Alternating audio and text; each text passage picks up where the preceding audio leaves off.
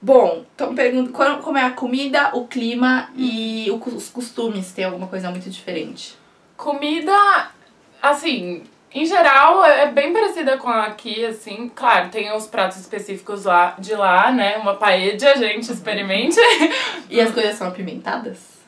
tem um tempero, um tempero, assim, bem específico, sabe? Tipo, tem tempero forte. Não é, ah, é uma comidinha apimentado. light, assim, não. É, não é apimentado, mas é um tempero forte. Lá tudo eles são fortes, assim, comida, jeito de ser. Então, mas é gostoso. A comida espanhola eu gosto, pelo menos. E o clima? Tem muito de lá? frutos do mar, essas coisas. Não gosto. Ah, eu gosto, gente. mas, e olha que eu sou vegetariana, então eu podia sofrer um pouquinho mais, mas comi super de boa, assim. E o clima lá? Calor, frio? O clima lá é. Assim, no inverno é bem inverno, é frio. Esse ano a gente pegou um inverno muito frio, nem costuma nevar em Barcelona e nevou, fez muito frio, assim, muito frio. E primavera é bem primavera, tudo florido, outono é bem folhinhas caindo, e verão é insuportável. Tava fazendo 38 graus à noite, assim, era muito calor, muito.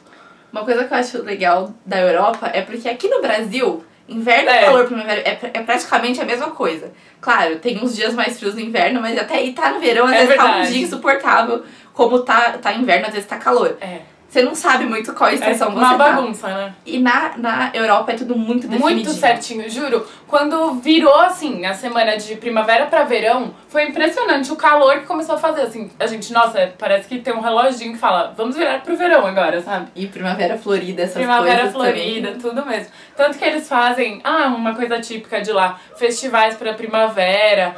De, Ah, em. Barcelona mesmo tem o festival de San Jordi, que eles comemoram, que é para o, o, o São Jorge, que a gente chama Ah. daqui, que é o padroeiro da cidade de lá, que é lindo. É um festival, festival que os homens dão flores para as mulheres e as, mulheres dão livro para os homens. É bem Ai, bonito, é muito romântico. fofo. É muito fofo. Então o clima você sofreu bastante no inverno. É. Ou no verão também. O inverno, porque bem no inverno eu fui inventar de viajar pra Alemanha. E assim, gente, foi muito frio. Eu peguei, sei lá quantos menos graus, assim, graus negativos, tipo que você põe o rosto pra fora de casa congelou. Congelou. tipo, você não conseguia fazer nada. Nada, era muito frio. Eu, eu odeio frio. Eu acho que eu não conheceria esses locais no inverno. É. É melhor ir no verão, gente. E o verão é, é muito insuportável, é um verão do Rio, assim. Não, assim, na Espanha é muito quente. A gente foi pra uma cidade que chama é, Sevilha. Gente, fez muito calor. Eu não conseguia andar na rua. Assim, a gente andava 10 metros e falava, nossa, vamos dar uma paradinha ali na sombra. Porque era muito calor. Nossa. E é um calor abafado, sabe? Você faz, ah, não consigo respirar. Era calor. É. Então tem muitos extremos lá. Assim. E tinha algum costume muito diferente, é, que nem o meu lá, tinha aquela coisa de tomar banho de 4 minutos. Ah, Porque era falta de água. Então era um costume já de É. qualquer lugar da Austrália de tomar banho de 4 minutos. sim. Tinha Eu acho. coisa- Europeu, em geral, assim, toma banho muito limitado. Tudo tem que ser rápido. E, assim, eles não tomam muito banho, não, viu, gente? Era assim, você ia pra aula, às vezes você sentava do lado e falava, nossa, né? Tá um cheiro meio esquisito. Eu nunca fui pra Espanha, mas quando eu fui pra Paris, gente, Gente, o nossa, metrô de não. Paris é fedido. As pessoas são fedidas. Parisiense. E russo. Isso porque os Russo, melhores então- perfumes são de Paris, mas as pessoas são Não, fedidas. eles são fedidos. E aí eles passam aqueles perfumes, tipo, vai melhorar? Não, piora. Cê- cê- fica aquela... Você fica pensando, será que eles tomaram banho mesmo? Não, é, Não tomaram, é fedido, porque é é Não dá. Então a Espanha também. Também, gente. Acho que desde a, das navegações que eles E, e quando, você, banho. quando você fala que você toma banho, sei lá, duas vezes por dia, porque no calor, gente, você toma um banho de manhã, você já tá suado à noite. Não dá, você tem que tomar outro. Eles acham um absurdo. Mas pra que dois banhos? tá, você não vai fazer isso, sei lá, todo dia, mas, gente, é, tem que tomar banho, é né? só de sábado. Ai, que nojo! Lavar cabelo, elas não lavavam cabelo, era nojento a semana inteira, só com shampoo a seco, assim. Tipo, tudo bem usar um shampoo a seco um De dia pra dar uma, né? é.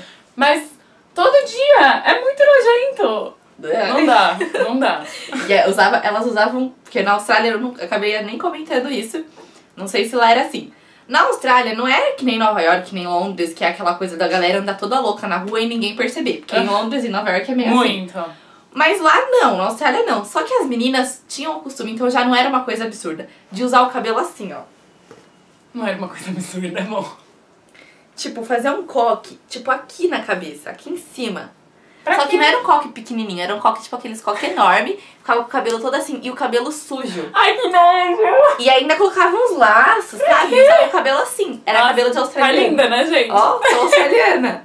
Quem já foi pra Austrália sabe exatamente do que eu tô falando, tenho certeza. Nossa! Porque você via muito isso por lá, muito. E eu não conseguia usar o cabelo assim, eu usava o coque normal, eu não conseguia colocar o Não. coque, o coque aqui em cima. Pra quê também? Com Eu acho que era tipo, o cabelo e fazia isso. Não.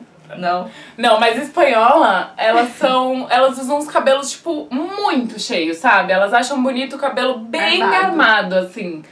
Juro. E elas são muito. é, falam que brasileira, que é piriguete, que tem uma fama lá fora, mas espanhola, gente, é muito piriguete. Essa é a palavra. A gente ensinava lá, falava que elas eram piriguetes a elas. Ah, a gente é piriguete! e nem sabia o que tava falando. Você fez facu, curso e escola. Já falou, já falou o nome da É. faculdade, né? É, a Universidade Autônoma de Barcelona. UAB.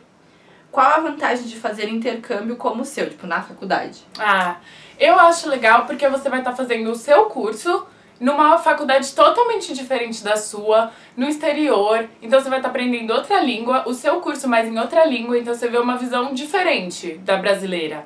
Isso é muito legal, assim, eu, eu tive matérias, algumas matérias parecidas com as do Brasil, mas com exemplos de, de lá, então foi bem legal. Técnicas assim. diferentes também. né? Técnicas diferentes. Porque é, isso também em outros cursos, mas, por exemplo, publicidade. Nossa. É sempre muito focado no seu país, Sim. no seu povo, na Então- sua, no seu jeito de falar. É. E você vai para outro lugar, é focado no jeito No deles. jeito Então deles. é bem diferente. É bem, foi bem diferente isso, assim. Eu aprendi técnicas diferentes daqui do- das usadas no Brasil. Então acho legal você voltar e trazer essas técnicas pra cá, assim.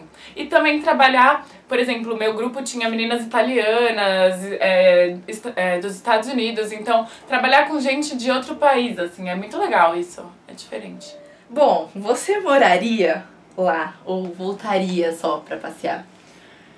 Olha, morar, morar pra falar, nossa, vou pra lá e não sei quando volto, não. Não, porque eu amo o Brasil, eu não conseguiria morar longe assim por muito tempo da minha família, das pessoas que eu amo aqui, dos meus amigos, eu acho que não. Mas voltar pra passar mais um tempo assim, passear também muitas vezes, aí eu voltaria. Pra passar mais um tempo assim, eu, eu voltaria. Mais seis meses. Isso, mais seis meses, até um ano, assim, sei lá, pra fazer uma pós depois, alguma coisa do tipo, eu moraria. Certo. Mas não pra sempre, assim, sem. não tenho hora pra voltar. Você, além do espanhol, fala outras línguas? É, eu falo inglês também, né? Eu já fiz um outro intercâmbio também pro E o inglês. inglês já é fluente. É, o inglês já é fluente. Até agora também, se- sempre que você viaja pra fora, você vai usar o inglês. Então, o inglês É. é, sempre bom, assim. E como seus pais reagiram com a sua decisão de fazer esse intercâmbio Ah. de seis meses? Sim, no começo eles ficaram, nossa, mas seis meses? Pra quê, filha? Calma, né? Você tá fazendo faculdade aqui, o que você quer ir fazer lá longe, na Espanha? Aí eu, não, gente, é um, um- é- são seis meses fora, na Espanha. Eu vou por uma parceria da minha faculdade com a faculdade de lá. Assim, se eu conseguir, eu consegui pelas minhas notas e tal. Então já tá tudo pago, sabe? Eu vou, tipo, ganhar esse intercâmbio. Eu acho que não tem por que não ir. Eu quero muito fazer essa experiência, então me deixem ir, por favor. Foi tipo assim.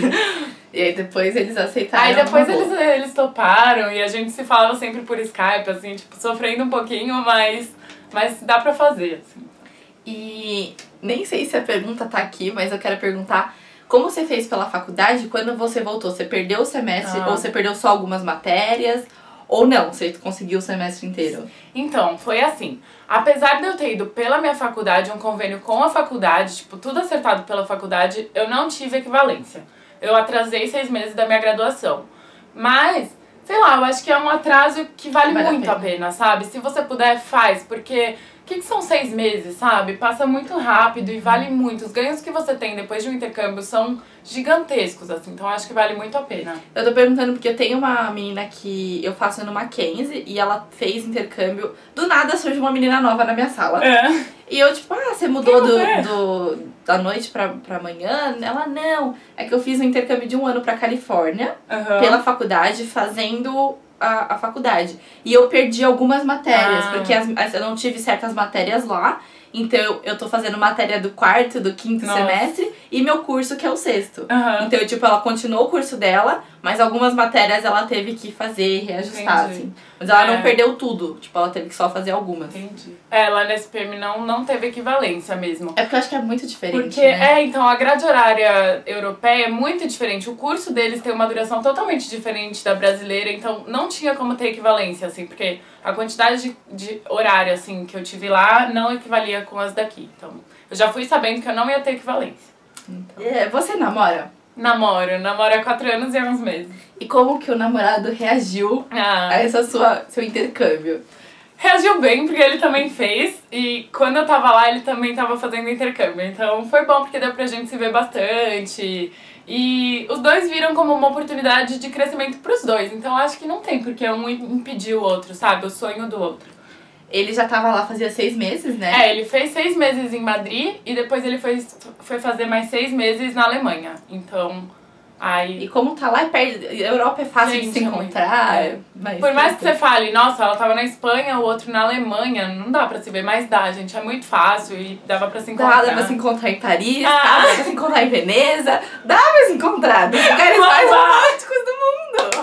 Ah, gente, isso foi muito bom, deu pra curtir bastante. Ela, quem já foi pra Paris deve saber aquela história do cadeadinho, né? Foi. E eles Na colocaram. Ponte de las Artes. Foi muito fofo, gente. Então, dá, dá pra se encontrar Ah. nos lugares mais chatos. Foi gostoso. Bom, já tinha. Você já tinha feito algo parecido, já, né? Já. O intercâmbio. Então vamos falar um pouquinho. Ela já tinha feito intercâmbio pra. É, Pra Inglaterra, eu fui pra uma cidadezinha perto de Londres que chama Kent. Pra ficar em uma. Aí era uma escola. Eu fiquei morando na escola mesmo, sabe? Aquelas escolas que parecem um palácio, essas coisas. Eu fui pra fazer esse tipo de escola, assim. E você ficou um mês só, né, das É. férias. Aí foi curso de um mês mesmo, rapidinho. E só inglês. Só inglês. Aí era, eu fui pra aprender inglês, né? Então Você tava com quantos anos? eu tava com 15, 15 anos. Foi com 15? Não. Foi. Não, 16. Foi do segundo pro terceiro. 16, então. 16 anos. É. Então ela tava com 16 É, eu tinha 16, tinha 16, porque foi em, ju em janeiro. Tá. Então ela estava com 16 anos. e ela fez, então, um mês também. Já tinha feito essa experiência antes. Mas eu não vou falar sobre. Se vocês quiserem muito que a gente fale sobre este assunto, vocês peçam e a gente. É, aí eu falo pra falar vocês, não. Mas vamos voltar para a Espanha, que é o foco da conversa. É. Você poderia, tipo, além de estudar por lá, você podia fazer tra trabalhar, ter algum emprego? Então, não pode, porque assim, quando você vai tirar o visto, eles falam, você quer um visto de estudante ou de trabalho? E aí o meu visto era de estudante, porque tinha, eu tinha uma carta de aceitação da universidade, eu não tinha nada comprovando que eu ia trabalhar. E aí, lá, ainda mais porque eles estão em crise e tudo isso, é, eles não estão dando muito esse visto de trabalho. Então eu não tinha nada pra comprovar que eu ia trabalhar lá, e se eu chegasse lá e começasse a trabalhar, eu ia estar trabalhando ilegal. Então não pode. Né? Porque tem alguns lugares que você até consegue é, ir com o visto de estudante, mas te permite É. trabalhar tipo, em McDonald's e coisa É. assim. E tem lugares que não. É, lá não, é, é ilegal mesmo. Certo. Você sentiu muita saudade e o que você fazia pra matar a saudade? Senti muita saudade, gente. Muita saudade de família, dos amigos, assim. Tinha vezes que eu falava, ai, eu só quero minha casinha, sabe? Aí eu sempre usava Skype, WhatsApp, a gente sempre se falava. Skype, a gente falava. A gente se falava, gente, tava muito saudade. Mas, é, essas coisas, assim, ajudou é o que bastante. tem. O Skype é o que tem pra É matar a saudade. Nossa, é é. isso. A conexão às vezes era horrível.